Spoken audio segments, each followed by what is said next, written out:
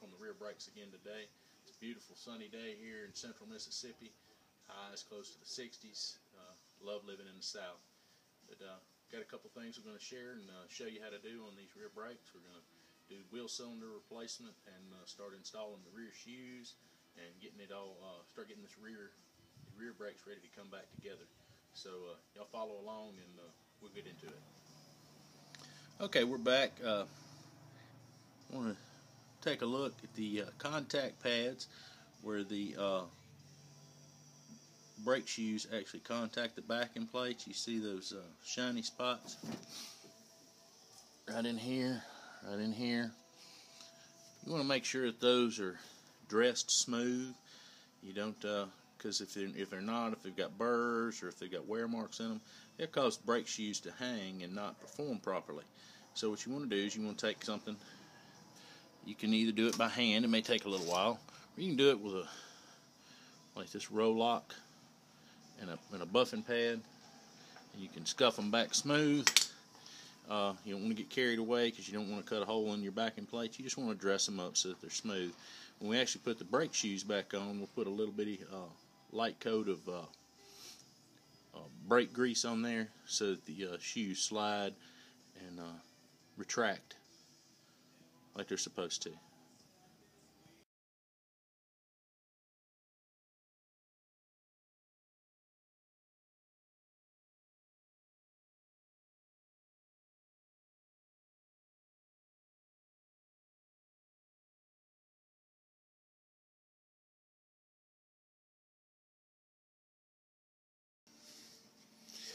Okay, now we've got these uh, these pads buffed and smoothed down a little bit, we're going to put a new wheel cylinder on. Uh, these wheel cylinders back here were not leaking, uh, but we don't know exactly how old they are, um, and I don't want to take a chance doing all this work and then having to, having it ruined and have to do it over again. It's better just to start new, and that way we know exactly what we've got and when it was replaced and go from there. They do make kits for these. Uh, if you're so inclined, you can hone them out and uh, put new cups in them and uh, new end rubbers. It's not uh, it's not a bad idea to do that as long as they aren't pitted in bad shape. But uh, we just bought new ones. We got a good deal on them. Wagner brand for I think we paid six dollars a piece for them or something along that line. So by the time you factor in your labor and all that, you can just get a, a set of new ones or rebuilt ones relatively inexpensive. But to get these off, you're going to need the uh, brake line itself. It's 3 8 inch and the uh, bolts that uh, hold it on are 7 16ths. Now, a lot of times, uh, these brake lines, if they haven't been, uh, if somebody took them apart before, wasn't real careful, didn't have the right size wrench or whatever, got ham-handed with them, they can uh, round the corners off and you have a hard time getting the lines back off. And in that case, you bring out the old vice grips. Uh, this side I've already checked out and prior uh, little post video, uh, pre-video inspection, and uh, they're going to come apart okay. It looks like. I'll give you a quick tip on that. When you put your wrench on the brake line, a lot of times they don't want to break loose if they haven't been apart for 20 years or whatever. car's been sitting, it could be rusted in place. It's just they get they get stiff. What you do is you put the uh, uh, put your wrench on it and actually go in the direction of what would be tightened. You try to get it to tighten just a little bit. If you can just get it to crack just a little bit, and then when you go to go to loosen, it'll go ahead and loosen up. For whatever reason, I don't know why, but that always seems to work. Um, so uh, you to get you a drip pan put underneath there because you're going to be leaking fluid everywhere if it's an active car and you got brake master cylinder. So uh, pretty straightforward here. If you know nut, how to do nuts and bolts and take stuff apart, this is uh, it's pretty straightforward. Um, just just undo everything, get your new part, and mount it up. And uh, we'll get into the bleeding procedure and all that other stuff later. Okay, we've got the old wheel cylinder off. We're getting ready to put the new one on. Now, when you take the old one off, you need to be careful with your brake line. You don't want to bend it because uh, you want to be able to try to you need to try not to bend it because if you bend it, you won't be able to get it lined back up correctly with the, the new part. Uh, when you go to put it back on, you put the new wheel cylinder up in there, and you leave the bolts out of it for right now, and you go ahead and you manipulate it around, and you start your line until you can thread it up in there by hand. Uh, you do not put your bolts in it yet, because if you do, you won't be able to wiggle it around and get the line started. Never, ever, ever start the line, start get the line started, and put a wrench on it until you until you know that it is threaded up in there good. Because if you try to put a wrench on it and force it, it'll cross thread, it'll leak, and you're going to end up replacing your line. Uh, no two ways about it. The uh, had to take the bleeder screw out. The bleeder screw on this one was a little bit longer. It didn't want to fit, so I pulled the bleeder screw out. I'm going to hook everything back up, and then I'll reinstall the bleeder screw. I'm just going to go ahead and put these put the bolts back in now.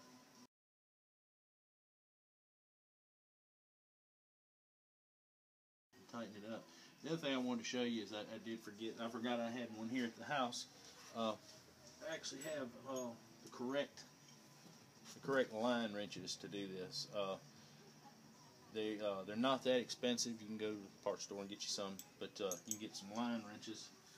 See, I had a regular 3/8 wrench, and uh, it's good to have one of those because once you get it broke free, you can use the open end to sit and turn and walk it off. But the, uh, the line wrench will get will give you uh, five contact points or four contact points at least. Let's see how many of this one. One, two, three. Yeah, it's at least four contact points on this wrench, whereas this one will give you just two. So that will help keep you from rounding off your uh, your line. Um, and I've got yeah coming all kinds of different sizes. They go all the way up to lines that big around. Okay, it's time to start getting ready to put shoes on. Uh, just a couple of quick important notes here. The uh, one thing you need to pay attention to is when you first get your shoes out, get one of your old ones and make sure you lay them up side by side. Make sure they have all the same holes, same cutouts, and the same um, places for mountings. Uh, you don't want to get in there about halfway into the job and find out that the, that you have a different model of brake shoe and then that they won't work. Uh, next thing you need to keep in mind is that there are on drum brakes is you have two different lengths of shoes on the material. And see if you can see you have a short side and a long side. Long side always goes to the back. Okay, here's all the technical difficulties and that, and we had to go get a cup of coffee. Uh, switch cameras, run of storage. But okay, we're back finally. Uh, as I was saying earlier, long shoe always goes on the back. First thing you're going to do when you install these shoes is you have your park brake lever. Install it in the shoe. You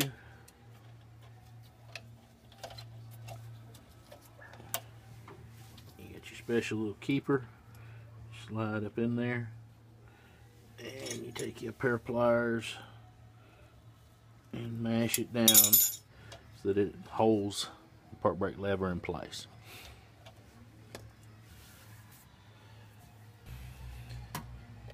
Okay, now that you've got your uh, parking brake cam hooked on there, and take and get you some uh, high temp brake grease. I just want to put a little smear, not a lot, just a little dab on these points right here on your contact points that you cleaned up earlier. Doesn't take a lot. You don't want this stuff running off and getting on your uh, brake material itself, so you want to be sparing with this. You just want it to be so that your brake shoes will apply and release smoothly. That's it. Just a little dab of do. You don't want to get carried away.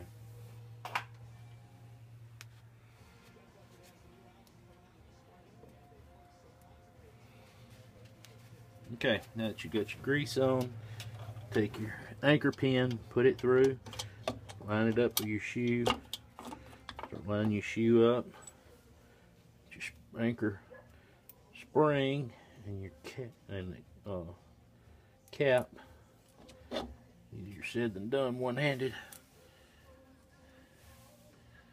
Alright, line it up in your tool. Alright, stick it on, pay attention to how your pin's in there and turn it 90 degrees and there you go. That'll hold your shoe on. Now, long shoe on the back, short shoe on the front. Now, take your anchor pin, stick through, get your spring and your your next cap, and you'll go ahead, line your shoe up, install it.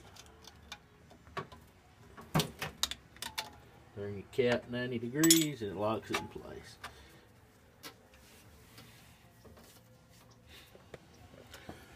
Alright, now that you got your uh, brake shoes held, starting to be held in place, you can take your park brake plate and it slides in here and it goes on the park brake, emergency brake arm. You can line your, take, put your shoe back up there, start getting them to hold it in place. You can take your uh, your retainer springs, go on the top.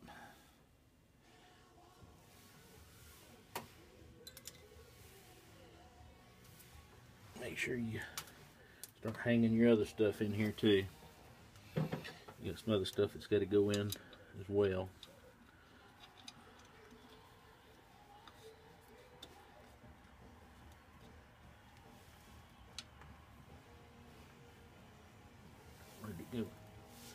There it is.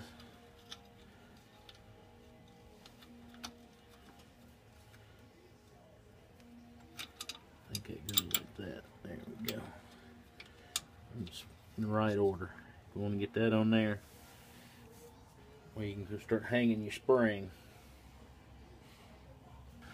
Alright, once you get your retainer plate there on the top, you got your uh, self-adjuster cable installed on there. You take your first spring. This is where uh, these special tools that we had will come in extra handy and make life a lot easier. Take slide that spring right on. No issue at all. Now you've got piece that the uh, cable runs around for your self adjuster. Spring actually helps retain it, so you actually. Oh, here we go come on. Not my mouth right. There we go. Alright. You actually put it in the hole. Run your spring in in the right direction. Make sure that your park brake plate is still in place. Get it pulled up there. Spring tool, slip in there. And there you go. But make sure that your cable's on the correct side. Don't be a Nimrod like I just was. That's not that big a deal, but it's a lot easier if you do it right to start with.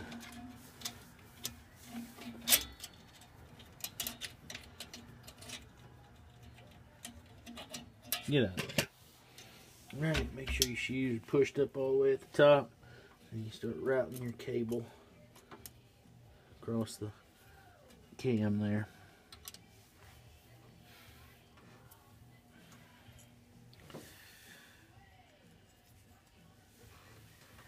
Now you got your, your self adjuster hooks right there and right there and you're going to have a spring that holds it in at the bottom. Now let's get your self-adjuster out here and let's take a look at it. I took and cleaned all this stuff up. You want to make sure that it turns really free. You don't want it to be any bind on it because shoes won't adjust correctly.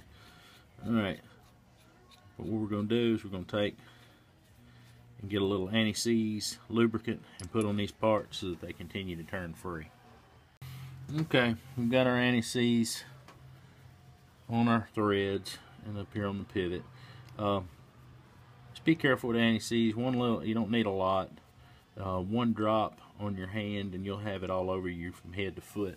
You want to make sure that you drop your, put your uh, adjuster in in the correct position. Down here and look, if you'll look, you'll, you'll see that it has a window opening for it. Pushed up there. You got your self adjuster piece in there. And you've got a spring. Runs there up to your self adjuster. Helps hold it in place. I think I can actually do this one. Okay, self adjuster spring, take two. Try some needle nose pliers. You know, sometimes things can be a little aggravating, but with a little perseverance, there you go. He hooked up. Sure everything's routed as it's supposed to be. Everything's pushed up like it's supposed to be. A little bump. Make sure it's all settled in. Okay. Alright, take, make sure our drum will slip on.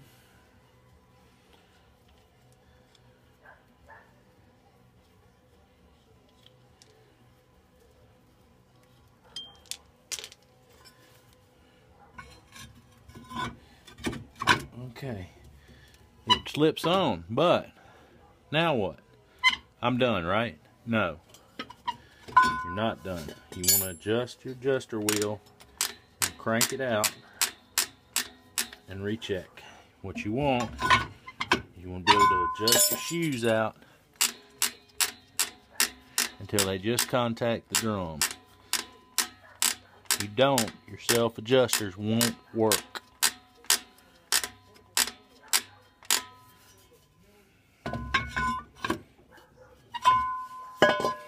May take a little bit, but just keep doing it till your till your shoes just barely contact and start contacting the drum.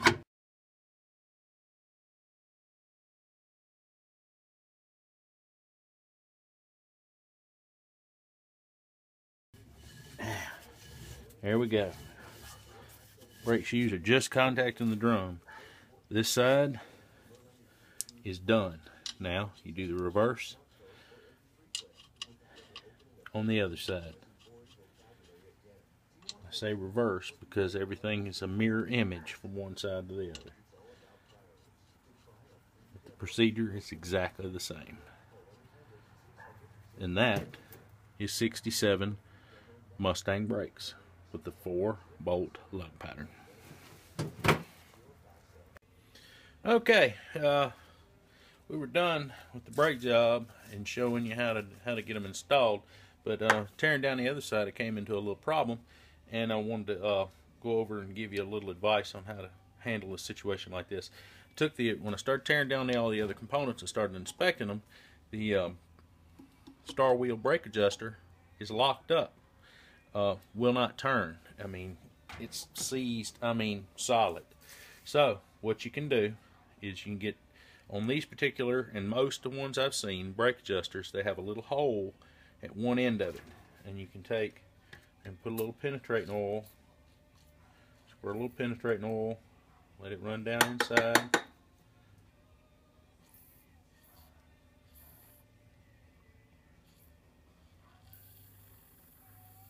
This this particular brand PB Blaster has got a, gives you a pretty good pin stream. Some of it comes with a straw if you can get it go down in that hole and uh, let it start uh, working down in the uh, around the threads. Then what you can do is take uh, you get a ball peen hammer and you can take another hammer. I don't have another ball peen handy, but just take another hammer to back it up. Hold a hammer on one side and just tap on the other. and knock it out of your vise like that. I don't want to get too tight because I don't want to booger up my uh, star wheel. But you can just take and tap.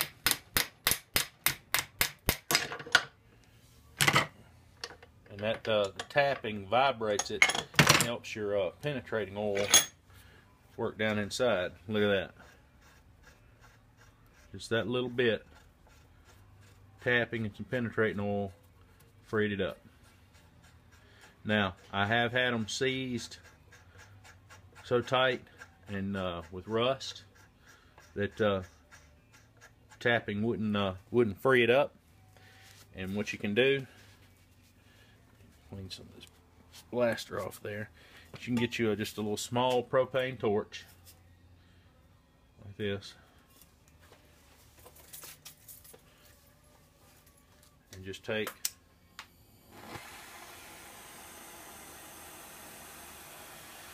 Just make sure that you don't have anything on your benches or around that can catch fire.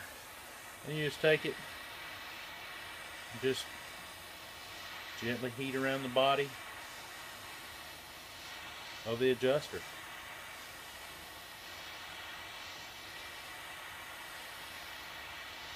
Just move it around, move your torch around. Like I said, again, you want to make sure that you don't have any flammables around or any, or, uh, any combustible material.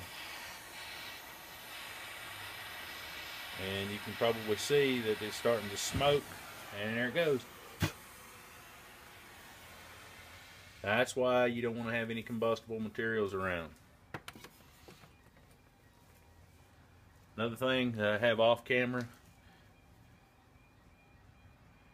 always have a good fire extinguisher handy, fully charged and ready to go. Safety first, guys.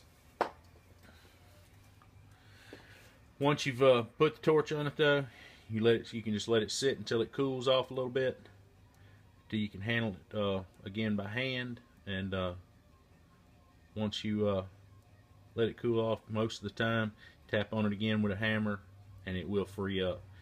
Um, should you find these parts are uh, so seized that you can't get them apart, they sell hardware kits Brake Hardware kits complete all day long. Um, you can get them at most any auto parts store, and there's lots of lots of resources online, so it's not a big deal. But like I said, safety first, fire extinguisher. Make sure you don't have anything combustible around, and no flammable liquids.